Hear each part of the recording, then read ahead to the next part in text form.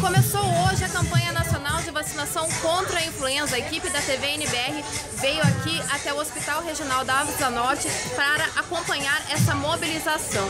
O Alfredo Borges é enfermeiro, faz parte dos grupos que devem se vacinar até o dia 20 de maio. Nós vamos conversar com ele.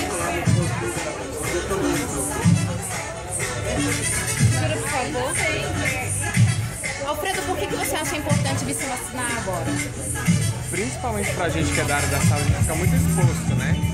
Então, qualquer paciente, na verdade, a gente está trabalhando hoje com pacientes que têm grupo de risco, que têm é, suspeito de H1N1, e é muito importante para a gente nesse momento estar tá fazendo parte da campanha, divulgando e se prevenindo também, né? E a gente, assim como qualquer outro profissional, e qualquer outra pessoa está predisposto a ser contaminado por esse vírus aí que está dominando.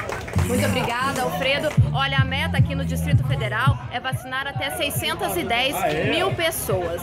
De Brasília, Paola Diorte.